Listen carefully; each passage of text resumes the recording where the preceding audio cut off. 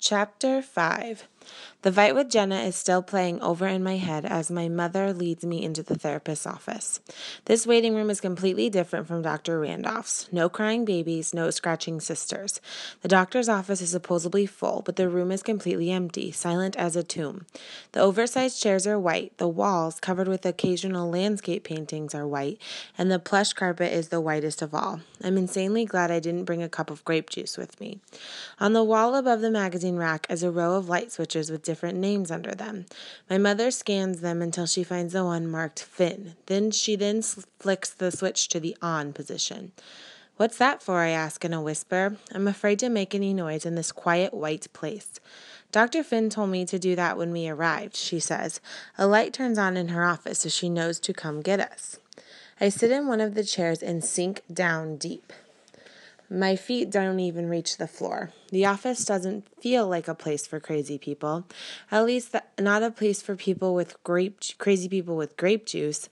I have the uneasy feeling we're being watched. If there had been a moose head on the wall, I swear the eyes would have been moving.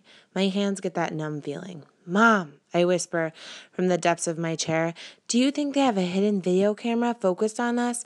You know, to see what we're like before we go in there? No, I don't, she replies. I wish you'd just relax. Dr. Finn only wants to talk to you. At least someone wants to talk to me, I mutter. What do you mean? My mother asks, shifting around in her own plush chair. Who's not talking to you? I sigh and say, Jenna, she hasn't spoken to me since Saturday. I told her about what's going on and I don't know. She just freaked out because I hadn't told her before. She didn't say a word to me in school today. You know how sensitive Jenna is, my mother says, but she'll come around. You'll see. I don't know what I'll do if she didn't. There isn't anyone else I would want for a best friend. I twist the friendship bracelet back and forth on my wrist. Molly and Kimberly and Sarah are fine for school friends, but we've never spent much time together on school. We all live too far from each other. I wish Mango were here with me, his dirty little paws leaving little tracks on the white carpet. I hadn't seen much of him this week. I think he's been hanging out at the Ross house lately, sniffing around their new cat, Twinkles. I don't know which is m- more embarrassing Mango having a crush on the cat or the fact that the cat's name is Twinkles. A few minutes later, the door opens and a tall woman who looks like she's in her late 30s enters. She walks over to me and holds out her hand. You must be Mia, she says. Her voice is sweet and makes me think of whipped cream, which reminds me that I am too ups- I was too upset to eat lunch today and could use some food. I nod. I'm Mrs. Finn, she says, bending down to shake my hand. Let's go into my office and get to know each other. Isn't it Dr. Finn? My mother asks. Mrs. Miss Finn smiles and says, I'm a psychotherapist, not a psychologist. Many people make that mistake. I assure you the level of care is the same. I'm still stuck in the deep chair and have to use both hands to push myself out. My mother starts to follow us to the out the door, but Miss Finn stops her. This is usually best without the mother, she says. My mother has no choice but to stay behind. I pause at the doorway and look pleadingly, but Miss my mother waves me on. Feeling alone and unsure, I follow Miss Finn into a small office that is very familiar to the waiting room. Once this room had framed diplomas on the walls and a bowl of jelly beans on a big mahogany desk. A box of tissues is conveniently placed next to the plush couch, where Miss Finn instructs me to sit, relax, make yourself at home. The tissues are a bad sign. Either she expects me to cry or to sneeze a lot. At least I don't sink in quite as deep this time when I sit down. My toes just reach the rug. I can only gaze longingly as the jelly beans, which are about a foot too far away to reach. My stomach growls. Now, Mia, Miss Finn begins in a firm voice. All traces of the whipped cream have disappeared. Dr. Randolph has filled me in on your situation. Maybe together you and I can figure out what is causing you to see these colors? I nod cautiously. She continues, I'm a very straightforward person. Another therapist might be the silent type, but I call it like I see it, all right? Okay. Do you see colors when you're mad at your parents? I don't usually get mad at my parents, I tell her honestly, my eyes drifting back to the bowl of jelly beans. That's my sister's job. Remember, Mia, anything you say in here is confidential. I nod. Unfortunately, my only secret is already out. I need to ask you if you've ever taken drugs. Miss Finn says, looking me straight in the eye, daring me to lie, anything that might have caused these colors as a side effect. Taken aback, I tell her no. I've never taken drugs. I don't even like to take medicine when I'm sick. She jots something down on her notepad. Now, Mia, what is your place in the birth order of your family? I have one older sister and a younger brother, but they don't see things like I do. She taps her pen rapidly on her desk and asks, Are you familiar with middle child syndrome? I shake my head. I don't like the sound of anything that ends with the word syndrome. Let me see if I can explain, she says, her voice suddenly soothing again. Middle children are in an unfortunate position. They get neither the privileges reserved for the firstborn nor the special attention specific to the baby of the family. Do you follow me? I understand what you're saying, I tell her, trying not to sound offensive, but I don't think it's like that in my family. My parents don't treat us any differently. Who has the largest bedroom? Miss Finn asked bluntly. Beth does, I admit, but that's only because she was here first, you know. She was already in there when I was born. And who does your mother spend the most time with? Zach, I guess, feeling slightly defeated. But that's because she has to do things with him that Beth and I can do on our own. He's only 11. So, do you see what I'm saying? She asked, leaning back in her chair. Middle children can feel neglected, often for good reasons, or they feel that they aren't as special as the other children or even as loved. When that happens, middle children often ask act out. Act out, I repeat suspiciously. A child may devise an elaborate plan to get his or her parent's attention, she explains, something that will make her stand out from the other siblings. I do not like where this is heading. Something, she continues, like telling her parents that she sees colors all the time, colors that no one else, including her brother and sister, can see. She leans forwards and waits for my response. My heart sinks, a feeling I'm becoming all too familiar with. Another doctor who doesn't believe me. Whatever happens to innocent until proven guilty? That's not it, I assure her, aware that I'm losing the battle to stay calm. I am not making this up to get attention. I don't even like getting attention. I just want to figure out what's wrong with me. She nods thoughtfully and scribbles some notes. Tell me, Mia, she says, do you often get depressed for no reason? No. Do you get enough sleep? Yes. Any trouble making friends? No. Keeping them is another story, but I don't tell her that. And these colors and shapes, they feel real to you? Very real. She looks at me steadily. Well, then, she says, why don't I talk to your mother for a while? We'll see what she has to say. As she leads me out of her office, I swipe three jelly beans from the bowl. When we reach the still empty waiting room, I trade places with my mother. I can I wait until I hear Miss Finn's door close behind her, then tiptoe down the hall and stand outside her office. I put my ears as close to the door as I can without touching it. The first thing I hear is my mother exclaim, "A brain tumor?" I jump back against the wall, my eyes op- my eyes wide open. Does Miss Finn think I have a brain tumor? Isn't that what people in soap operas get before they die young and still beautiful? The grape flavored jelly bean in my mouth suddenly tastes flat. I'm sure that's not it, Mrs. Winchell, she assures my mother, and without her realizing it, me.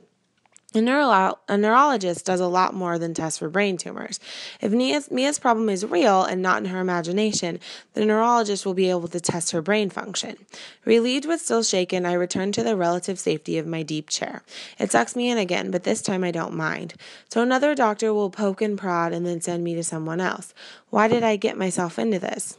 I pick up the magazine my mother left on the table and open to a page of a page full of text. As I read, a rainbow of colors drifts by in my head.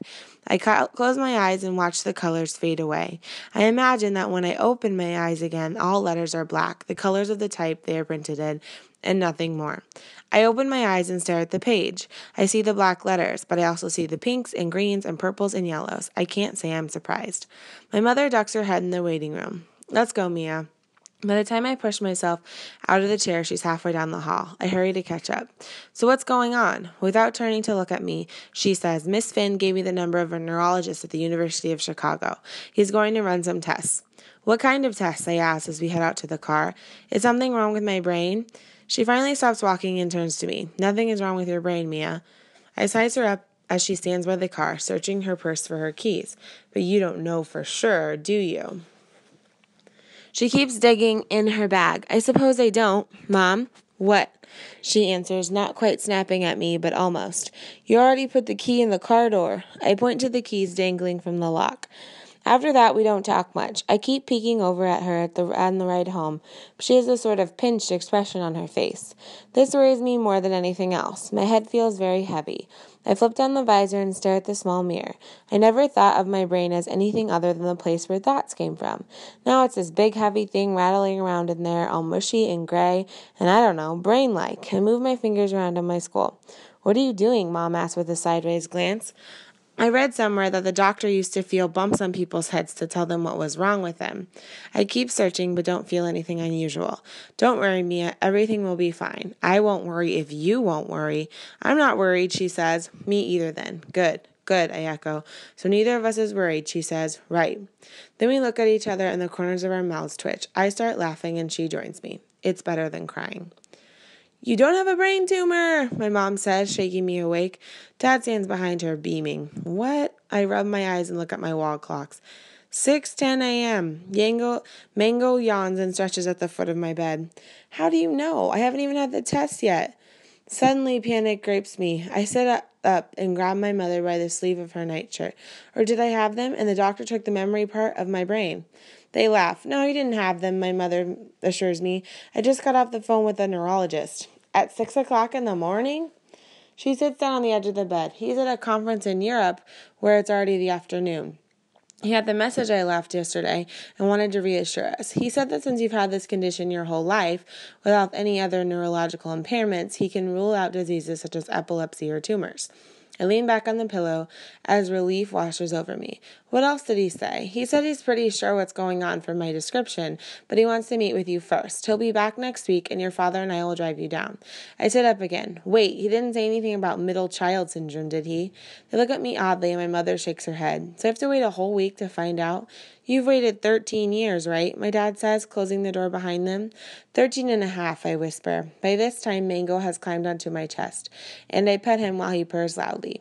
Each mango colored puff reminds me that even though I'm not dying of a brain tumor, I still don't know what's wrong with me. And my best friend isn't talking to me. I lie there with Mango for a few more minutes and decide it's time for action. Mr. Davis lets me in and tells me Jenna's still up in her room. I knock on the door and wait for her to tell me come in. Tell me to come in. Oh, it's you, she says. She's standing by her bed, trying valiantly to squeeze her school books into a purple mini backpack that I haven't seen before. We used to make fun of people with mini backpacks, and now she has one. But she's still she's wearing the pajamas I got her for last Christmas. I'll take that as a good sign. What are you doing here? she asked. Please talk to me. I sit on the bed. I can't stand it. She lays on the backpack in defeat. What do you want me to say? For the fir- for the second time this morning, I feel a relief. That morning, I feel a surge of relief. At least she's not giving me the silent treatment anymore. I don't want to fight, and I understand why you got mad at me. Then I can't help myself. I mutter, even though I really need you to be there for me. That's an apology, Jenna asks. She crosses her arms in front of her. I tug at my ponytail for a lack of anything better to do while I think of a response. It's half an apology. The other half has to come from you. You're the one who kept the secret, she said pointedly. I take a deep breath. Listen, Jenna, I'm sorry I didn't tell you. I just couldn't talk about it, but now I want to, need to talk to, about it with you. Unless you've got a new best friend I should know, like the person who gave you that backpack. This stupid thing, a friend of my father's gave it to me. I promised my father I'd wear it at least once. I'm relieved it wasn't from Kimberly or Molly or Sarah trying to move in on my best friend while we were in a fight. Jenna pulls her clothes out of the closet and lays them on the bed. I don't want to fight anymore either, but you don't know what it's like finding out something might be wrong with someone you care about. I've been there before, and believe me, it's really scary. I looked down at the floor ashamed. I hadn't thought of it that way. I'm really sorry if I made you worry. And I'm sorry I got so mean, she said, starting to pace, but I kind of did a bad thing yesterday after you left school early. Guilt flickers across her face. I recognize it from the time she literally got caught with her hand in the cookie jar. She takes a deep breath. Well, Kimberly was asking me what was going on with you, and at first I told her I didn't know because I didn't know. But then I did when I did know, and when I was so mad at you, well, I told her the truth about you seeing the colors. How could you do that? A dark cloud of dread descends upon me. I'm really sorry. Who else knows? Wait, if Kimberly knows, then everyone must know. I'm sure not everyone, Jenna says, trailing off and looking everywhere but at me. I can hear the third grade laughter ringing in my ears all over again. The passage of time doesn't make it sound any nicer. I'll take it back. I'd take it back if I could, Jenna insists. Still stinging from betrayal, I say coldly, What's done is done, right? I'm sure eighth graders aren't as cruel as third graders. Yeah, right. No one's going to make fun of you, Jenna says. They're just curious, that's all. We'll see about that. I hurry out of her house and walk quickly back down the road, suddenly eager to get home. I hate the idea of everyone at school talking about me behind my back. I've tried so hard to avoid it, and then Jenna, of all people, sets it off. Zach is sitting at the kitchen table eating scrambled eggs when I walk in the back door. Seeing him there strikes me as strange. My life is changing by the minute, when for Zach, everything is exactly the same as it was yesterday. As I pass by, he tosses a handful of salt over his shoulder, spraying me with it. Hey, I say, brushing the tiny crystals off my jacket. Sorry, Zach says. Didn't see you there. You better clean that up before Mom sees it, and don't leave it for Mango to lick up. Relax, he says, and grabs a sponge from the sink. If you spill salt, you have to throw some over your left shoulder to appease the evil spirits. No big deal. The evil salt spirits? Go ahead, make fun, Zach says, but Beth knows it's true. You're brainwashing her, I accuse him. She never used to be this way. Hey, the voodoo vixen came to me, not the other way around, he says, stuffing a whole piece of toast in his mouth. I head out of the kitchen, and Zach calls after me in a muffled voice. By the way, if you can't find Mango, he's probably hiding in the walls. Like the rest of us, Mango has found the house's little nooks and crannies that never quite seem to fit together. I not go back into in the kitchen. Why is he hiding? I think mom scared him. She was sweeping the hall and she caught him peeing on the couch. So she chased him with the broom and I haven't seen him since. Mango peed on the couch? I asked in disbelief. Yep, haven't you noticed he's been a little weird lately? Weird like how? Zach shrugs, shrugs, slinking around the house with his tail real low, sleeping a lot. He always sleeps a lot, I snap. His medication makes him tired. At that moment, Mango saunters into the room and heads straight for his food bowl. Zach shrugs. I bend down and examine him. Poor Mango. Maybe he's suffering from middle cat syndrome and peed to get attention. Being chased with a broom probably wasn't the kind of attention he'd been hoping for. Five minutes to the bus, Mom yells from upstairs. I cringe and sit down across from Zach. Hey, can you show me how you got the thermometer to read like you're sick? I really don't want to go to school today. Oh, the good old, the old thermometer and light bulb trip, he says. Never fondly, never fails, but you only want to use it if you don't mind being brought to the doctor. I quickly push the chair back and stand. Ugh, never mind. In my haste, I knock over the salt shaker. I turn it upright and pause. With a sigh of defeat, I pour a little bit in my hand and throw it over my left shoulder. Salt spirits or no salt spirits, I need all the luck I can get today. Zach smiles proudly. Don't worry, I'll clean that up. I gave Mango an extra cat treat, grab my book bag, and head out to the bus stop. Maybe I'm overreacting. Maybe it won't be that bad after all. Then why do I keep hearing freak, freak, freak over and over in my head?